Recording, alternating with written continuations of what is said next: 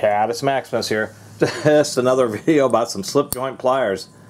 Some people really don't care for these or care for my videos about them. Some people do. This happens to be CeeTee, so these are actually Crescent Tools brand, and for some reason they had another trademark brand called CeeTee, and I never knew until I looked it up, and I just don't understand why they would have the CeeTee, and apparently that naming was used on pliers and wrenches, but it's a Crescent Tool Company brand, and actually they still sell these.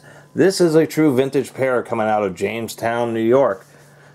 So, just like the old Jamestown uh, original uh, OG crescent wrenches, I think these are pretty nice. They still have a pretty tight rivet. You know, these can be tightened up. Not too bad. Pretty even uh, machining on the jaws there. Gosh, I've run into some of these pliers where it's just like, just totally chopped off and sharp on one jaw, and the other jaw, the flat, is like huge and eighth inch wide. We can see that they are semi-curved have a kind of a coarse cutter and once again they're slip joint. And as I mentioned in all videos pliers like these actually are all made as left handles or right handles.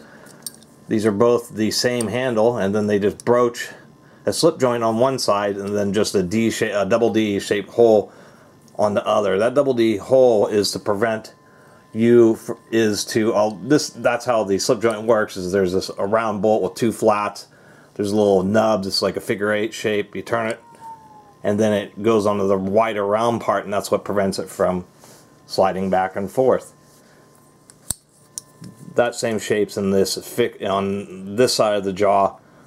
To help, this is the side of the jaw that also has the nut, so that helps prevent the bolt from twisting around against the nut and helps them stay tighter for a longer period of time. This is just a basic 6-inch pair. They did have an 8-inch pair. These are actually in pretty decent shape. One thing I was going to say is I do like the cross hatching that they have on the jaws here. That is something that a lot of these pliers do not do, not even the diamonds. But I do like these vintage crescents because that cross hatch actually gives you just a bit of extra grip. And once again, really nice, pretty nice grinding on these. Nice textured pan, uh, pattern on the handle. That is done as a, they forge these and then they have to hit them again to get that texturing. So it's a little bit more expensive. And another thing I thought was curious, let me show you here here we are on the Crescent's tool site and they still have them. They're the H26VN. We go to buy now. Apparently uh, Grainger is out of stock, but if we go to some place like Amazon here, if this will ever load, uh, we can see 10 bucks for the good old Crescent uh, CeeTee pliers and they actually have the 8 inch ones too.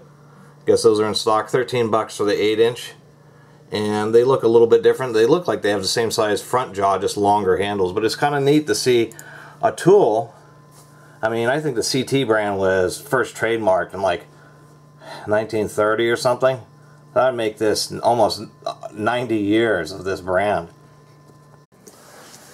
I don't mean the Crescent brand, a big name brand like that you'd expect, but a sub brand like CeeTee, those these types of brands come and go every few decades, and it's actually amazing to see that CeeTee, their sub brand, is almost 90 years old and uh, they are made pretty well. I do like these, and someday I will do a video that just is a comparison of all the different slip joint pliers I've been building up. Anyway, I really appreciate everybody who's been watching and subscribing, and if you haven't subscribed, please do. Until next time, Catus Maximus out.